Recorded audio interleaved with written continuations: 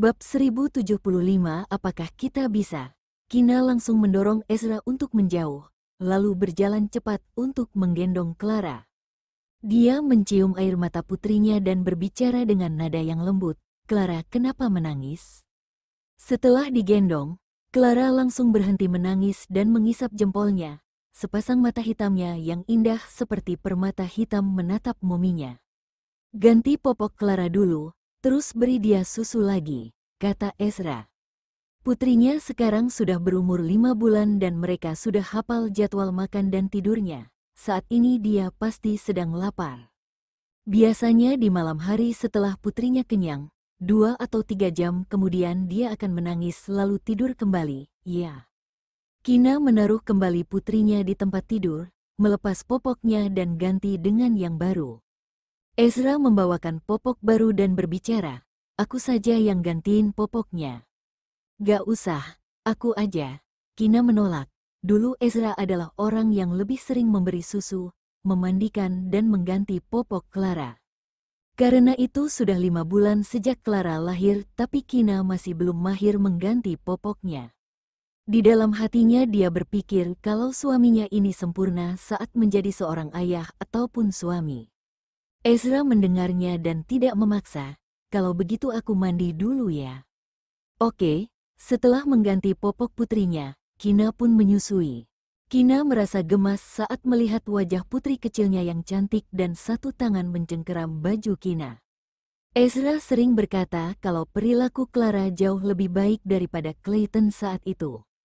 Kina memikirkannya dan setuju dengan perkataan suaminya, karena memang perilaku Clara jauh lebih baik dari kakaknya. Sejak Clayton lahir, dia tidak mau disentuh oleh siapa pun kecuali dedinya dan hanya mau minum ASI, tidak mau minum susu formula.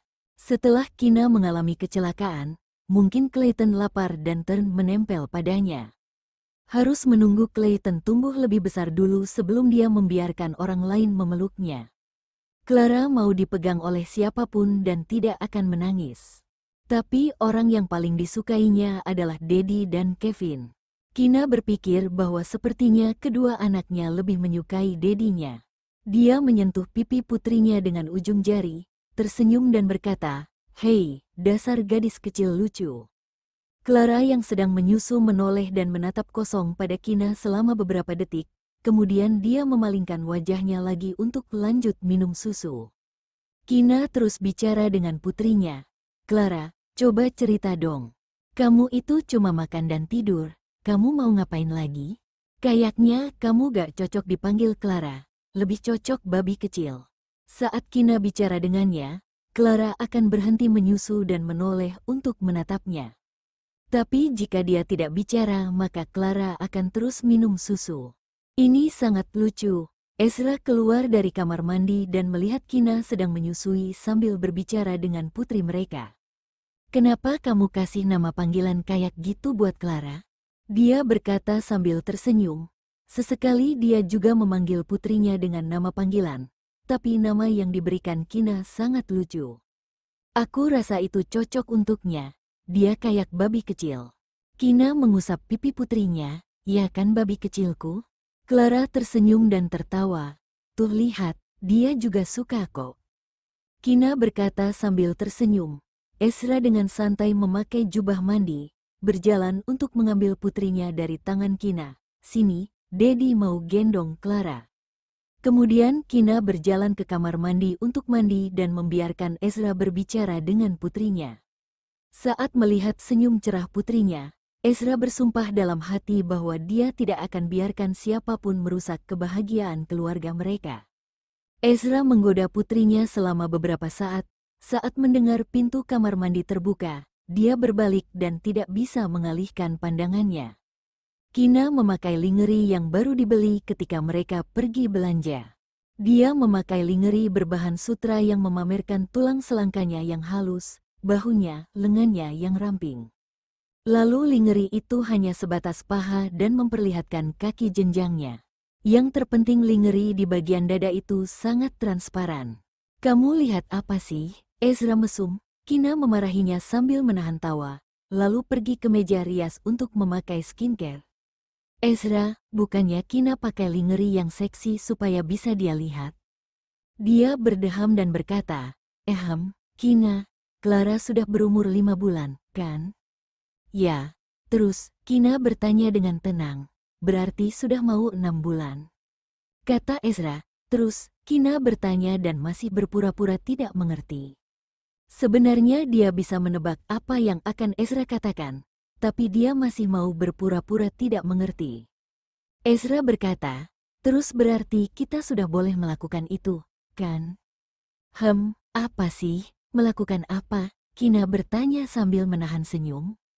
Ezra bisa mengerti kalau istrinya hanya berpura-pura. Jangan pura-pura Kina. Kamu tahu aku mau bilang apa, atau kamu mau aku katakan dengan jelas? Kalau dia benar-benar mengatakannya secara jelas maka mungkin Kina akan menyuruhnya diam karena malu. Gak perlu, Kina menghentikannya. Sebaiknya tidurkan dulu Clara, aku tidak tahan kalau sampai larut malam, aku mengantuk. Oke, lalu Ezra pergi keluar untuk menidurkan Clara. Heh, kamu mau bawa Clara ke mana? Bawa dia jalan-jalan. Aku janji 30 menit lagi dia sudah tertidur. Kata Ezra, Kina tidak bisa menahan senyumnya. Ini sudah malam dan jangan bawa Clara keluar. Aku cuma godain kamu kok. Seharian aku tidur sama Kina dan gak mengantuk. Jadi pelan-pelan aja, dia melihat Ezra sudah menahan diri selama lima bulan tapi akhir-akhir ini setiap kali dia memeluk Kina dengan erat, dia bisa merasakan perubahan di tubuhnya. Meskipun Ezra mengatakan tidak mau berhubungan seks selama enam bulan sampai tubuh Kina pulih, tapi sepertinya melakukannya sekarang pun tidak masalah. Ya, Ezra duduk di sofa sambil menggendong Clara. Kina sudah selesai memakai skincare dan naik ke tempat tidur. Ezra menatapnya dengan gugup. Kina kamu mau tidur? Saat melihatnya gugup, Kina tertawa. Tidak kok, aku cuma mau menghubungi Karina dulu. Dia mendengar dari Kevin bahwa semalam saat keluarga River tahu kalau Karina terluka, mereka langsung menyewa pesawat dari Kyoto untuk terbang ke kota Leicester. Untungnya luka Karina tidak parah dan tidak melukai ototnya. Dia akan sembuh setelah beberapa saat dan tidak akan meninggalkan bekas. Bab 1076, Kina.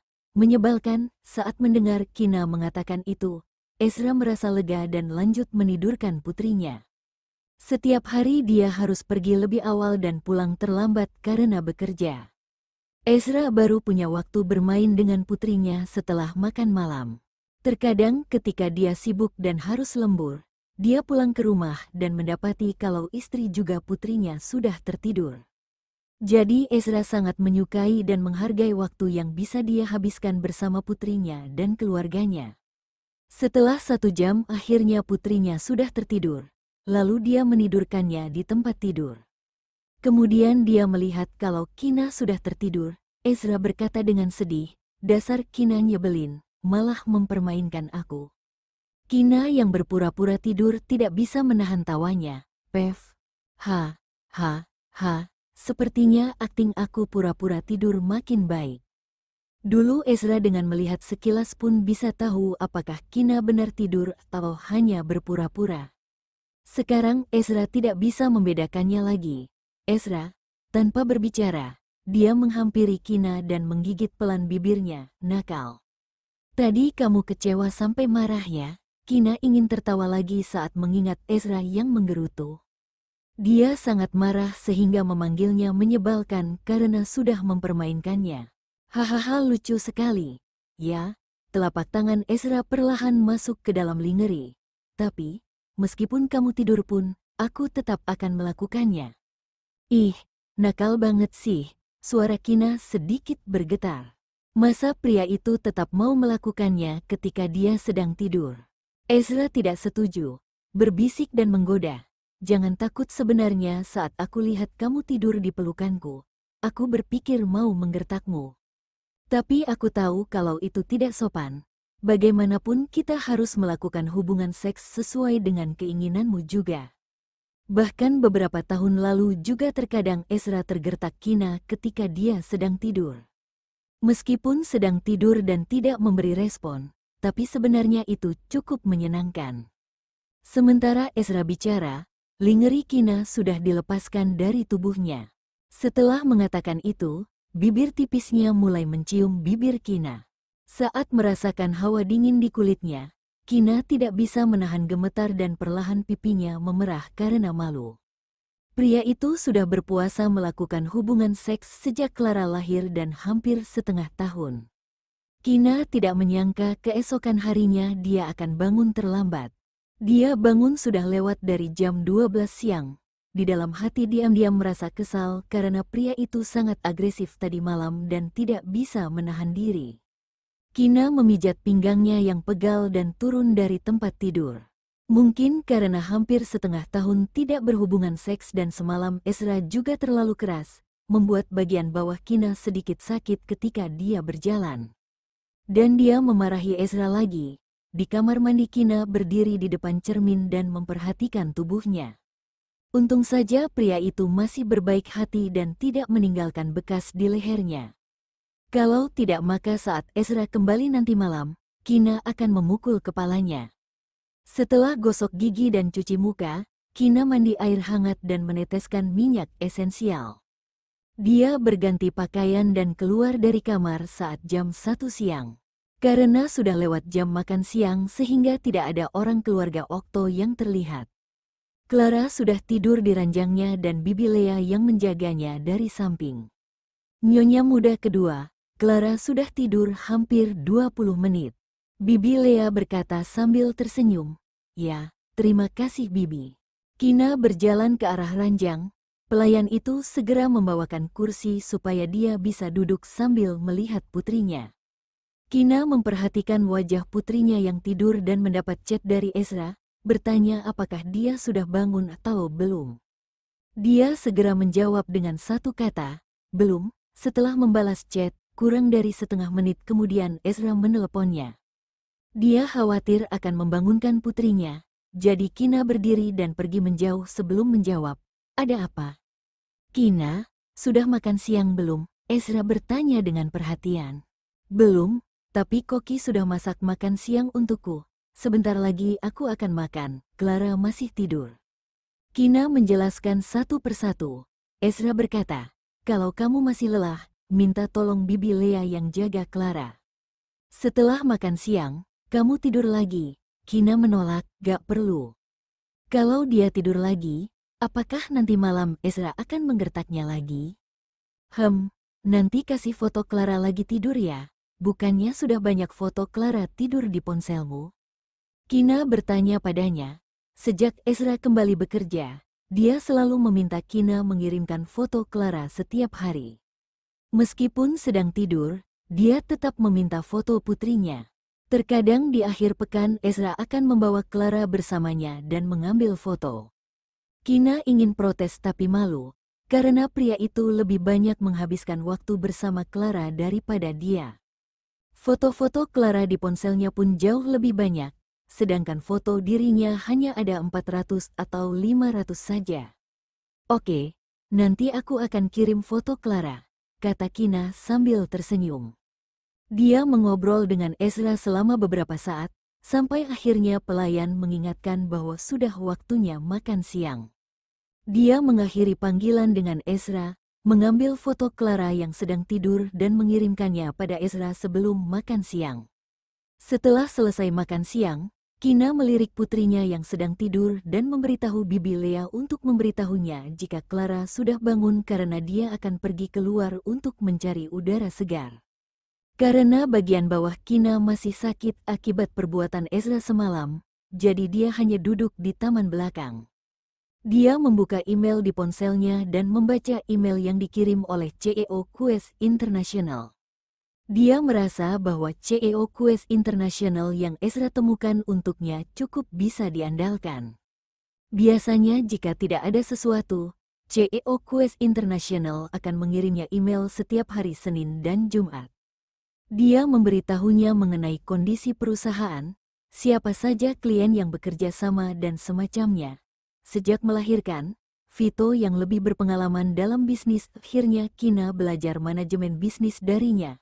Dia belajar selama tiga kali seminggu dalam beberapa bulan ini, dan Kina merasa ini cukup bermanfaat. Karena itu dia bisa mengerti sebagian besar hal yang dijelaskan oleh CEO padanya.